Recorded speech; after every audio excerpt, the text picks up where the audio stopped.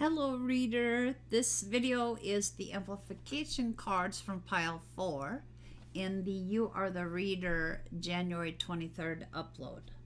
The first card that needs some amplification is Bloodstone. Alright, I gotta hold these up close because look, these are so striking.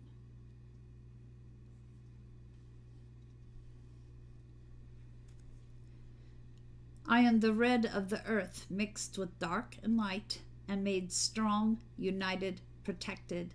We know we belong. As brothers and sisters with purpose of stone, together we stand, our victory known. Red falls and flows like seeds to the soil, and greatness grows in the hearts of all. Bloodstone resonates with the root, heart, sacral, and solar plexus chakras. In medieval times, this stone symbolized the blood of Christ that spilled onto the green earth. It came to represent the most noble sacrifice.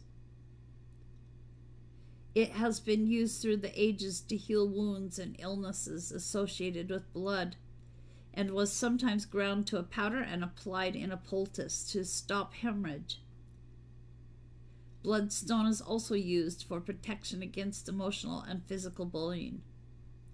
Bloodstone brings strength and confidence to new and unfamiliar circumstances. Soldiers have worn it as an amulet to protect against injuries. It is also thought to provide guidance to those who are lost. This gem is associated with the Mother Goddess. It can ease friction, when there are misunderstandings between mother and child.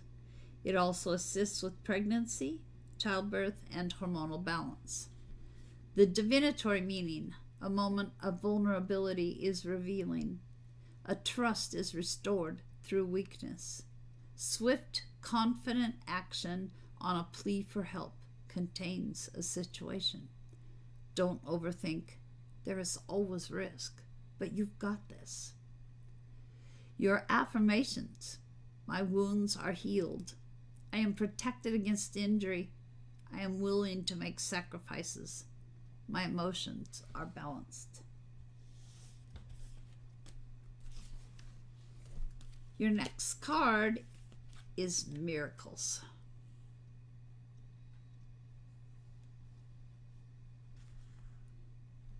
Have faith that your miracle is on its way. Your prayers have been answered. Surrender the how. Your prayers have been received, and a miraculous outcome is already in motion. The unicorns invite you to relax and have fun while you wait for your blessing to take physical form. They remind you that you are the miracle you seek, and everything you desire is already within you and one with you. There is no desire too big or too wonderful for you to co create with the universe. And because the divine operates outside of time, anything can happen in an instant when you let it. Make space for miracles by releasing the belief that anyone or anything in the physical world is the source of the good in your life. Instead, place your full focus on the divine as your infinite unwavering, unlimited source, and let the joy and gratitude of that truth open gateways of abundance. The unicorns also remind you that the miracle you are asking for may not come in the form you expect it to. The answer to your prayers may come in a series of stepping stones, and some may not immediately make sense or seem related to your request. Stay open to your guidance follow your intuition, take aligned action, and surrender your expectations of what, how, and when your miracle will arrive.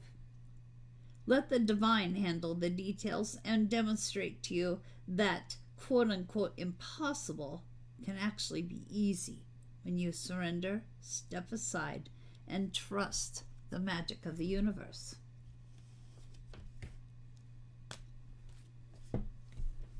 Your color is aqua. Experience peace and calm. Aqua creates a state of serenity, tranquility, and peace. by soothing your mind and calming your nerves.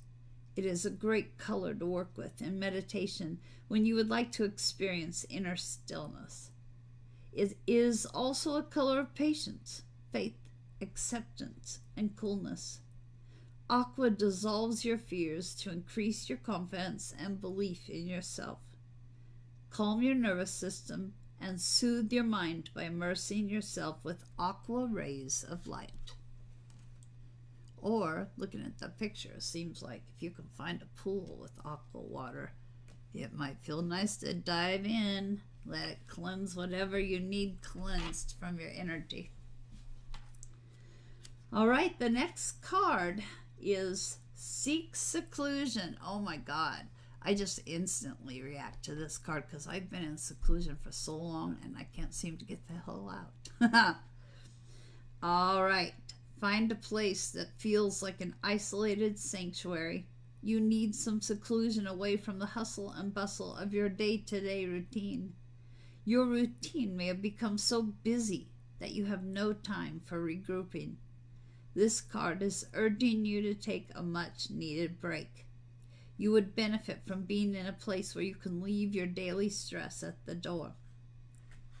You can fashion your own haven in simple ways. Bring fresh flowers into your space. Decorate an area with gifts that have a special meaning to you, or photos of beloved family members and friends.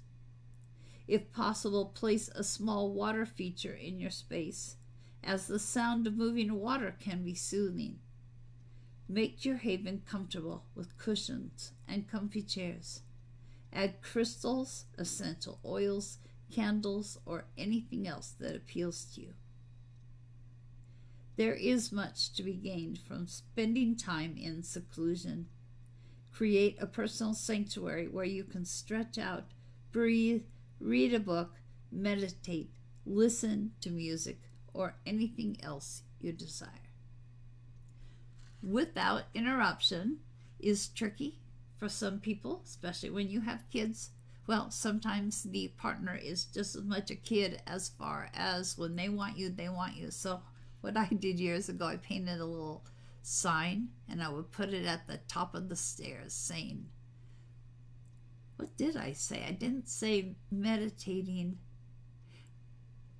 in thought, I think is what I wrote. It really doesn't matter. But if you put something up to kind of stop them in their tracks when you need time in your sanctuary uninterrupted, they'll start to get the message.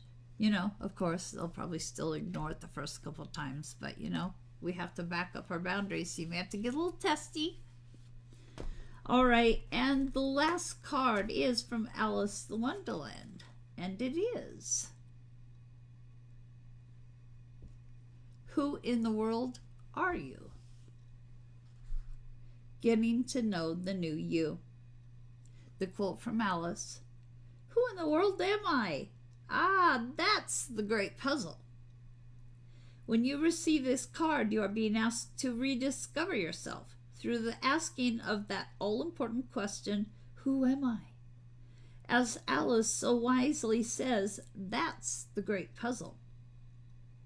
Some people go through life being who they think they are, who others say they are, or who they think they ought to be when who they truly are is submerged beneath conformity, habit, stereotypes, cultural expectations, and other people's opinions. This card is asking you to ask this question and to assume just for a moment that you may not know just who you are. This is your invitation to go beneath the roles and the assumptions Allow your true self to slowly ascend and emerge from beneath the stultifying feedback of the world and to be once again. When this card comes to you, it is a wonderful opportunity to live from the heart of yourself once more, to question all you think you are, and to find out who you are right now. You may wish to meditate on this question or to find out who you are in new places with new people. You may like to start over, to incarnate in a way. You may wish to travel, undergo some therapy, journal, or have heartfelt conversations about how we become who we are at any given moment. Treat this like a wonderful adventure and an opportunity to forget what you think you know. Rather than going along with beliefs, aim to truly see yourself. Puzzle out, once again, a rebirth into your new self. And that's it for your cards, pile four. Would love to hear your comments about whether the cards resonated, matched your interpretation that you had come up with. Hey, just a little BS in the comments I'd be happy with. All right, guys. See you at the next one. Take care.